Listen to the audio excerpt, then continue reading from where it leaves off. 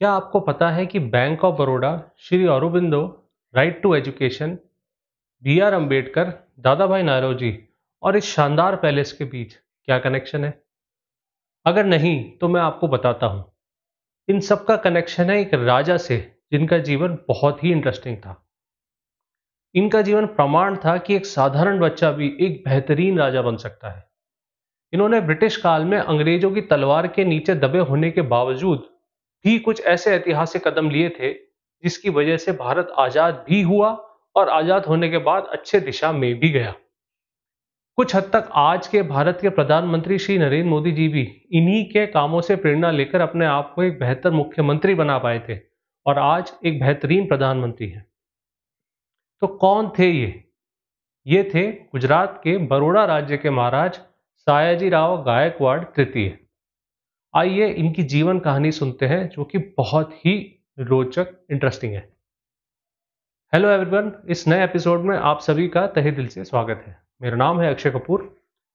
सायाजी राव का जन्म नासिक ज़िले के मालेगांव तालुका में हुआ था। एक किसान, काशी राव भीकाजी राव गायकवाड़ के घर में। बचपन में इनका नाम था गोपाल राव गायकवाड़, और ये खुशी से अपना जीवन व्यापन कर रहे थे महलों से दूर खेतों में। मगर शायद राजगद्दी इनकी किस्मत में लिखी थी और इनकी बड़ोड़ा राजगद्दी तक पहुँचने की कहानी बहुत ही विचित्र है। 1870 में बड़ोड़ा राज्य के प्रसिद्ध राजा सर खांडेराव गायकवाड़ की मृत्यु हो जाती है। इनके छोटे भाई मल्हार राव अब राजा चुने जाने थे, मगर वो बहुत ही खतरनाक थे। मल्हार राव ने अपने भाई को मरवाने की कोशिश भी कर रखी थी। उस समय खांडेराव गायकवाड़ की धर्मपत्नी जमुना जमुनाबाई प्रेग्नेंट थी। इसलिए दरबार के सभी लोगों में यह डिसाइड किया कि जब तक महारानी जन्म नहीं दे देती, तब तक ये राज्य दरबार ही चलाएगा। मगर जब महारानी एक लड़की को जन्म दे देती है तो दरबारी 5 जुलाई 1871 को मल्हार राव को राजा बना देते हैं। अपने स्वभाव के चलते मल्हार राव कुछ ही वर्षों में बड़ोड़ा का सारा शाही खजाना खत्म कर देते हैं। और इस हद तक आगे बढ़ जाते हैं कि उस समय के अंग्रेज़ों के एजेंट, रेसिडेंट रॉबर्ट फायर को मरवाने की कोशिश भी करते हैं। अंग्रेज़ भी उनसे अब त्रस्त हो चुके थे और 10 अप्रैल 1875 को अंग्रेज़ उनको गद्दी से उतारकर मद्रास जेल भेज देते हैं। नए राजा की खोज में महारानी जमुनाबाई पूरे बड़ोड़ा राज्य से राजा के सभी दूर और पास के रिश्तेदारों को बुलाती है। ये देखने के लिए कि इनमें से कौन सबसे ज़्यादा योग्यता रखता है। राजा बनने के लिए काशीराव भीकाजीराव गायकवाड़ अपने तीनों पुत्रों के साथ नासिक से 600 किलोमीटर चल के बड़ोड़ा आते हैं। दरबार में सभी के सामने रानी सभी प्रतिभागियों से सवाल कर रही थी। इन सभी प्रतिभागियों में जब 12 साल के गोपाल राव की बारी आती है तो रानी उनसे पूछती है कि तुम यहाँ क्यों आए हो इतनी दूर से? जिस पे गोपाल राव कहते हैं कि मैं तो यहाँ राजा बनने आया हूँ। और फिर कहते हैं कि ऐसे ही तार्किक और स्पष्ट जवाबों से गोपाल राव न सिर्फ़ महारानी का दिल जीतते हैं, बल्कि अंग्रेज़ों का दिल भी जीत लेते हैं। अंग्रेज़ों का दिमाग उस समय ये सोच रहा था कि अगर 12 साल के इस गाँव के बालक को राजा बना दिया जाए तो वो इस बालक को अपने तौर तरीके सिखा के अपने हिसाब से चला सकेंगे। खैर, अंग्रेज़ों और रानी के फैसले के फलस्वरूप गोपाल राव बन जाते हैं सायाजी राव गायकवाड़ तृतीय। मगर चूँकि वो बालक थे तो उनके व्यस्क होने तक राज्य संभालती है काउंसिल ऑफ़ रीजेंसी इन्हीं वर्षों में एक राजा को राज्य कैसे संभालना चाहिए, ये गोपाल राव को सिखाते हैं तंजौर माधव राव, जो कि बड़ोड़ा के दीवान बनाए गए थे head of council of regency Tanjore Madhav Rao आज के तमिलनाडु में तंजावुर में जन्मे एक मराठी ब्राह्मण थे, जो कि त्रेवण कौर के दीवान रह चुके थे। सायाजी राव गायकवाड़ तृतीय को जानने से पहले आइए, इनके गुरु के बारे में थोड़ा जान लेते हैं। 1850 के दशक में माधव राव त्रेवणकौर के राजकुमारों को पढ़ा रहे थे। इसी दौरान त्रेवणकौर राज्य की हालत बहुत गंभीर थी।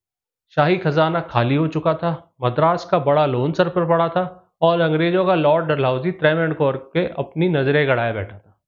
डॉक्टिन ऑफ़ लैब्स को हाथ में लेके। ऐसे में उस समय के त्रेवेंडकोर के राजा उत्तरम थिरुनल मार्तंड वर्मा, यानी कि मार्तंड वर्मा द्वितीय माधव राव को भेजते हैं अंग्रेज़ों से ट्रीटी करने और अपने राज्य को बचाने। माधव राव कुशलतापूर्वक ये अपना काम कर लेते हैं और इसी से खुश होकर राजा इन्हें त्रेवेंडकोर का दीवान बना देते हैं। दीवान बनते समय राज्य की हालत और भी ज़्यादा खराब थी। पता चलता है कि राजा ने पद्मनाभ स्वामी मंदिर से भी लोन ले रखा है और स्टेट मशीनरी पूरी तरह त्रस्त है। कुछ ही साल में राजा की मृत्यु हो जाती है और नए राजा बनते हैं अलियम थिरुनल रमा वर्मा जो कि माधव राव के ही द्वारा पढ़ाए गए थे। माधव राव इनके साथ मिलकर पूरे राज्य की काया ही पलट देते हैं। मोनोपोलिस तोड़ी जाती है, कर हटाए जाते हैं लैंड टैक्स कम किया जाता है और ना जाने कितने रिफॉर्म्स लाए जाते हैं, जिससे मात्र कुछ ही सालों में त्रैवणकौर राज्य अपना सारा कर्ज उतार देता है और 1863 में कर्ज मुक्त हो जाता है। राज्य में राज काम करने वालों की सैलरीज 50 प्रतिशत तक बढ़ाई जाती है और कहते हैं 1872 में जब माधवराव दीवान के पद से रिटायरमेंट लेते हैं तो त्रैवणकौर के खजाने में 40 लाख रुपए आ चुके थे। त्रैवणकौर के बाद माधवराव इंदौर के दीवान बने और फिर बड़ोड़ा के। त्रैवणकौर राज्य के बारे में और माथंड वर्मा प्रथम के बारे में और जानने के लिए आप मेरा ये एपिसोड देख सकते हैं। साईजी राव गायकवाड़ थ्री जब 19 वर्ष के हुए, तब उन्हें राजगद्दी पर बैठाया गया और अगले ही साल माधव राव उन्हें राज्यभार संभाल के चले गए। राज्यभार संभालते ही साया जी ने अपने राज्य को बदलना शुरू किया। साया जी ने सबसे पहले प्राइमरी एजुकेशन को फ्री कर दिया। उन्हीं का ये स्टेप बाद में भारत सरकार ने भी अपनाया। आज की राइट टू एजुकेशन पॉलिसी भी उन्हीं के इसी एजुकेशनल मॉडल से प्रेरित है। इसके बाद उन्होंने सुधारा बड़ोड़ा की टेक्सटाइल इंडस्ट्री को। 1908 में फाइनेंशियल और लैंडिंग इंटरेस्ट को ध्यान में रखते हुए उन्होंने स्थापना की बैंक ऑफ़ बड़ोड़ा की। सामाजिक रिफॉर्म्स में उन्होंने बाल विवाह पर रोक लगाई डाइवोर्स का कानून बनाया, छुआछूत खत्म करने का कानून बनाया और संस्कृत को बढ़ावा दिया। उन्होंने कई लाइब्रेरीज और स्कूल बनाए।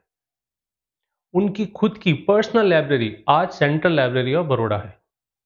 इन्होंने Gaekwad Baroda state railway network बनाया था, जो कि आज भी विश्व में सबसे बड़ा नैरो गेज का रेलवे नेटवर्क है। उन्होंने बड़ोड़ा के लोगों के पीने के पानी की व्यवस्था के लिए अजवा रिजर्वायर बनाया था, जो कि आज भी काम आ रहा है। इसी वजह से उनका बड़ोड़ा राज्य विकास के कई इंडिकेटर्स में अंग्रेज़ों द्वारा शासित भारत राज्यों से भी कहीं आगे निकल गया था।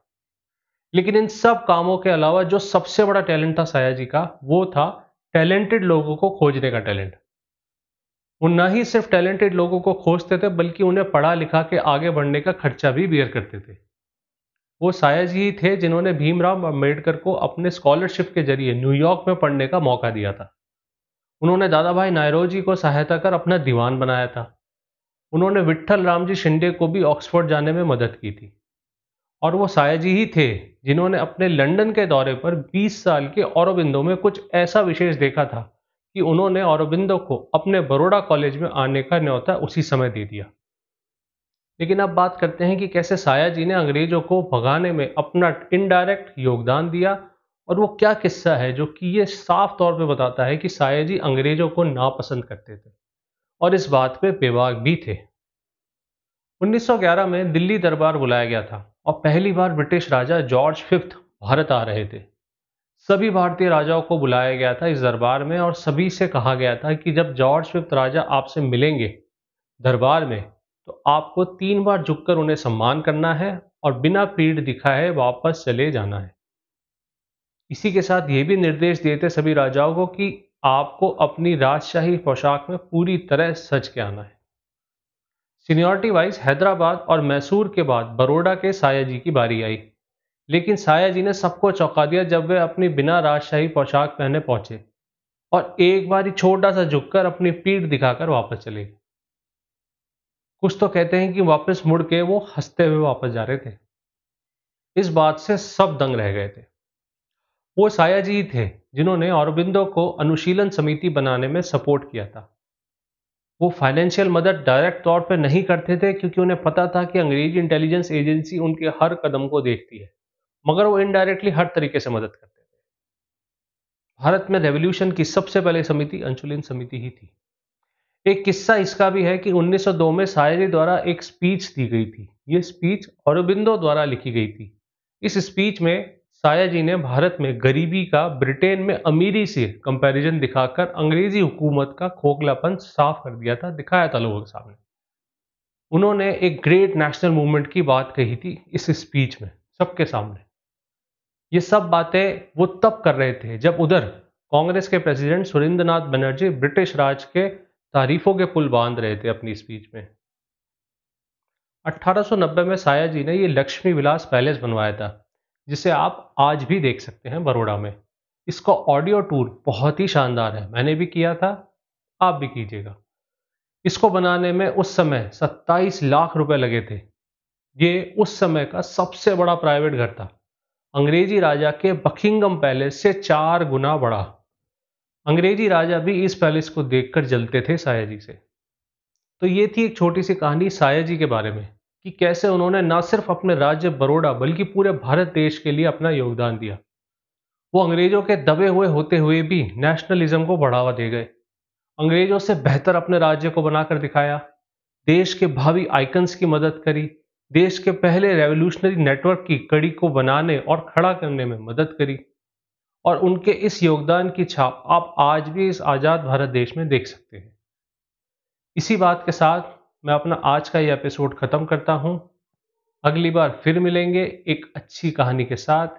मुझे ध्यान से सुनने के लिए आपका बहुत बहुत धन्यवाद।